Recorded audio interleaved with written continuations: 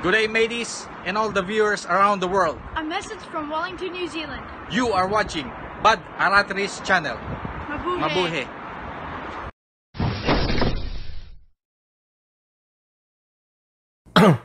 Magandang araw sa atin lahat mga boxing fans. Samang panig kayo ng digdig naron. Dito na naman tayo sa another episode ng ating Badaratilis Boxing Channel. No? So as of now, hinihintay pa rin natin yung tugon ni Floyd Mayweather sa hamon ng ating pambansang kamahon na si Manny Pacquiao sa kanilang ah, paghamon ni Jack Ma dito sa isang ah, Twitter. Sa Twitter nila hinamon to si Pacquiao na kung gusto niya ng seryosong laban eh narito lang no? So wala eh. Hindi sumasagot to si si ah, Floyd Mayweather. Hindi natin alam kung first time kasi to na pag hinamo mo kasi si Mayweather na ganyan may sagot agad eh ngayon parang tameme no yung huli kong pinanood sa Instagram niya yung nagpo-promote pa siya ng relo So, abangan natin yan. Very exciting. Okay. So, sa isang interview naman na ginanap sa Dubai, ah, sinabi nito ni, ano, ni Manny Pacquiao, no, na yung, ah, yung mga posibleng niyang ah, kalabanin itong darating na 2020, no. Ah, dito na reveal talaga kung ano yung kagustuhan ni Manny Pacquiao. Ah, tinama na, na naitama niya na lahat ng ano no, yung mga posibilidad ng ah, may yung lahat kasi nagsasabi ngayon. Ngayon lumilinaw na sa atin kung sino talaga ang gusto ni Manny Pacquiao at sino yung hinihintay niya na kaya wala siyang announcement, no? Okay. So, ang malinaw na malinaw dito, tapusin muna natin yung kay Danny Garcia, no?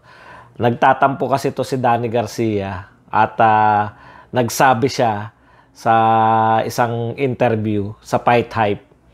Ang sabi ni Danny Garcia na kung maaari, eh, tigilan na na ni Manny Pacquiao yung kagagamit sa kanyang pangalan. No? Ma- nag-uugat tong ah, pagtatampo na to ni Danny Garcia nung isang ano pa, no? nung nakaraan laban.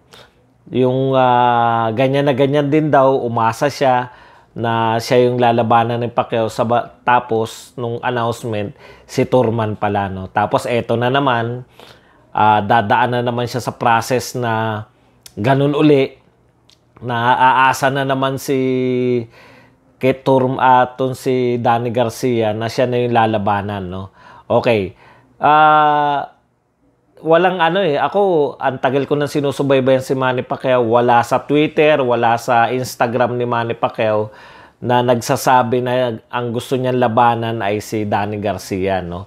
So, ang mga nakikita natin nagsas- nagsalita na si Danny Garcia ang gusto nila, etong si, si ano, Sean Gibbons na MP promotion head at saka tong si Fred Roach, no? Na binabanggit nila si Mikey at saka si Danny Garcia no. So mula sa bibig ni Manny Pacquiao, wala talaga kahit nga tayo hindi natin binabalita na si na si ah, Danny Garcia yung posibleng kalabanin kahit na halos lahat na ay nagsasabi no. Okay, so malinaw na ngayon, luminaw na dahil sa ginawa ni Manny Pacquiao na paghamon na ang priority talaga niyang labanan sa totoo lang ay ito nga si ano no? Si Floyd Mayweather Jr. no? Ito talaga ah, pinaglaruan na nga nila actually ni Jack Ma eh. tapos ang revealing dito sa Dubai may isang television ah, network sa Dubai medyo Arabic nga. Arabic ba? Hindi ko alam eh. Basta sa Dubai. Oh tama Arab Emirates. Ah yung revealing no? Kung sino talaga yung gustong labanan nito ni Manny Pacquiao yung sinabi kasi na nung nag yung nagre-report na ah, kung gusto niya ba na maglaban sila ni Pacquiao eh, ni Mayweather. Siyempre gusto ni Pacquiao. Yun na nga yun eh. Ang priority talaga, ang gusto talagang kalabanin ni Pacquiao si Mayweather, no? Tapos nung binato sa kanya kung hindi magaganap yan, kanino kay Mikey tsaka kay Danny Garcia. Hindi sinagot ni Pacquiao yun. Wala talaga sa wala talaga sa equation tong dalawang Garcia, no? Ang antansya ko diyan, pinalulutang lang yan ni Sean Gibbons, ah, ni Freddie Roach at saka ng PBC para sa ganun kung hindi man na masunod yung kagustuhan ni Pacquiao, may option sila na babalikan, no? Okay. So, ang sagot dyan ni, ano, ni Manny Pacquiao, ang lalabanan niya kung hindi si Mayweather, yung mananalo kay Porter at Spence. Kaya ang ambong talagang ang pagkakaintindi ko dyan, sa lahat ng pahiwatig, kahit nga nagsasabi na yung marami na si Danny Garcia na yung sigurado, ang, ang sa akin pa rin, yung Spence. Ang problema ngayon, so sa akin, dalawa lang. Kung ma kung hindi papayag si Mayweather na sa tingin ko ay may totoong negosasyon, si Spence yung makakalaban ni Manny Pacquiao. Ganun lang kasimple. Kaya lang ayaw nga i-announce ni Pacquiao kasi nga hinihintay niya kung si Mayweather nga no. Kasi andal tapos bitin din si Spence, 'di ba? Hindi niya rin alam na at least si Spence alam niya na kung hindi papayag si Pacquiao, ang lalabanan niya si ah, Danny Garcia. Gumulo lang 'yan nung na-aksidente na si Spence. Gaano kahanda si Spence ngayon na lumaban, no? Okay. So, wala, kung mawawala na si Spence, dun lang mamimili si Pacquiao ng kung sino pa, no? Knowing Pacquiao, ah hindi naman yan ano eh. Pero na lang tong nangyayari ngayon kay Danny Garcia, no? Ah, dahil meron ng ano eh, meron ng anggulo na pwedeng patulan. Parang si Turman nun, nung nagsimula naman si Pacquiao tsaka si Turman, hindi naman gano'ng sikat yan si Turman na akala natin di kakagatin eh. Pero ngayon itong nagsasalita na si Danny Garcia ng ah, mga ah, ginagamit lang siya ni Pacquiao, may anggulo na, di ba? Pwede naman po, paano kang gagamitin ni Pacquiao? Eh, mas sikat sa'yo yun. Ni hindi ka pa nga na pay-per-view, di ba? Yun yung point dun eh. Ikaw pang ginagamit ni Pacquiao. Swerte mo nga at nababanggit ka ni Pacquiao. Ah, patuloy ka pa rin maging relevant, di ba? Ang tansya ko nga riyan, ngayon, nag-iingay na si Danny Garcia, pwede na, di ba? Lalo na pag nagsalita na yung tatay niya. Al- alam niyo yun, nagkikreate siya ng malaking business eh. Para sa katulad ni Pacquiao. Pero kung pare-pareho lang, kasi ngayon may binabanggit na si, ano, eh, si Danny Garcia na kinikilala niyang legend si Pacquiao. Siya naman yung legend killer, no? Mas malakas daw siyang, ang pagkakaiba daw nila ni Turman, meron siyang one punch power no na kaya niyang one punch killer punch no na kaya niyang pabagsakin si Manny Pacquiao sa pamamagitan ng isang suntok. O din gumanda yung anggulo para ibenta niya yung sarili niya, di ba? Yun naman yung gusto ng mga tao na ah nagyayabang ka, sige patulang ka ni Pacquiao. Kasi kung hindi nag-ingayan si Danny Garcia, ang tingin kong ah, option pa ni Pacquiao nalalabanan, masikat dahil ang ganda ng pinakita niya kay Spence, si Porter. O, di ba? So, dalawa. Si Porter or ngayon dahil nagsasalita na to si Danny Garcia, ah, parang masarap ng labanan to ni Manny Pacquiao. Biglang bigla. Okay.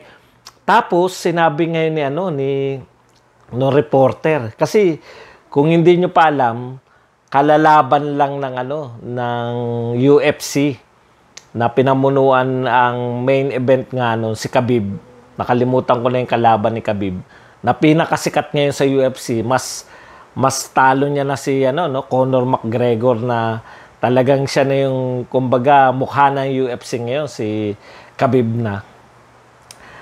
Nabanggit daw sabi nung Arabong ah, ano na willing daw na lumaban si Khabib dito kay ah, Mayweather at saka dito kay Pacquiao. Sabi naman ni Pacquiao, ah, willing siya na labanan to si Khabib pero sa isang kondisyon. Yung kondisyon na ang paglalabanan nila ay boxing. Kasi nga naman, siyempre, bakit naman sila eh mas malaki, 'di ba? Hindi naman kinakailangan ni Manny Pacquiao na lumaban pa kay Khabib para lang magkaroon ng malaking kita sa boxing. Kung gusto raw ni Khabib, at yun yung sinabi ng reporter, eh, willing naman daw. Kung boxing match, hindi urungan ni Manny Pacquiao yan. Eh kung totoo nga na mag, matuloy, na maglaban si Khabib at saka to si Pacquiao sa boxing, paano mananalo si Khabib, di ba? Kahit na ano, eh, tignan nyo, kahit nga yung suntukan sila ni Kung magsusuntukan lang nga sila ni Conor McGregor, may panalo pa si Conor McGregor eh. Kailan ba niya tinatalo to si Conor? Doon na sa, ah, anong tawag doon? Yung top out, di ba? Yung pamamagitan ng antindi kasi nito lumingkis ni ano eh, ni Khabib parang pag sinimulan ka na yung grappling nito, antindi. Ah, paa, tuhod, ah, lahat gumagalaw. No? Masarap din panoorin, very technical. Hindi siya masarap panoorin ng mga mahilig sa boxing dahil hindi siya, very technical siya sa grappling. No? Kaya lang masarap panoorin kasi napaka-dominating nito ni Khabib. Kung boxing ang pag-uusapan, malakas din sumuntok eh kasi bago niya na, na ano si nag na pasuko si Conor tinamaan niya muna pabagsak na si Conor McGregor nung kanyang hinedlock no? Headlock. Ano ba yung nagpa basta sinakal niya sa madaling salita. Hindi natin alam yung mga termino gano sa sa MMA okay kung kung pera-pera rin lang ang lala kasi alam niyo sa totoo lang ang laki na ng pay-per-view. Buys ni Conor McGregor at saka nito ni Khabib. Parang pangatlo ba sila o pang-apat sa all time, no? Pero ang liit lang ng kinita nila ron. Wala pang 5 million silang dalawa ni Conor McGregor. Kaya siguro, kung, kung lalaban to si Khabib kay Pacquiao sa boxing, hindi urungan ni Pacquiao yan. Kahit sa, eh, sabi nga ng, nung Arabo, dito sa sa UAE, sa Dubai man o sa Abu Dhabi, ay willing silang uh, i-host yung Manny Pacquiao at uh, Khabib Nurmagomedov. So napakagandang laban niya sa boxing kung hindi man matuloy yung yung laban ni uh, Floyd Mayweather at Pacquiao, malaki rin kikitain rito ni Pacquiao sa laban niya kay Khabib. So, pero dahil nga sa nakakontrata pa tong si Manny Pacquiao dito sa uh, PBC ni Al Haymon, eh parang uh, yung Khabib tsaka Manny Pacquiao, medyo mahaba-habang usapan pa yan. No? Kasi hindi natin alam kung sa bagay, si Al Haymon din naman eh kasama dun sa ano, 'di ba? Siya na rin yung uh, namahala kay kay Mayweather nung kinalaban niya si Conor McGregor. Eh basta kay Pacquiao lang, boxing lang, no? So wala siyang pakialam.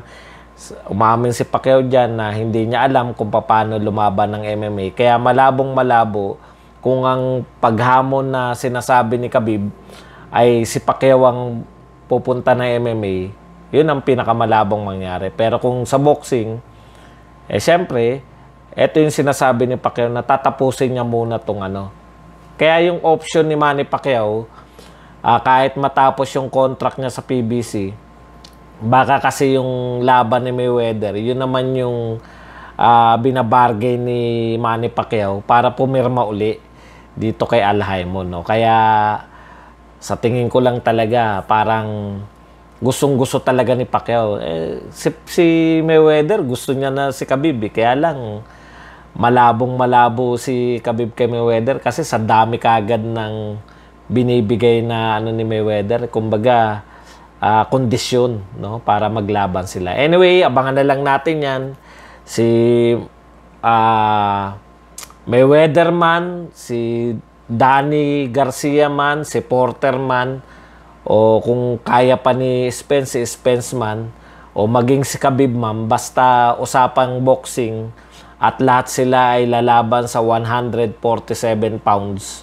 na welterweight, eh sa tingin ko, hindi po problemahin yan ng ating pambansang kamaw. So, hanggang dito na lang, hanggang sa muli natin pagkikita, dito pa rin sa ating channel, Bad Aratilis po.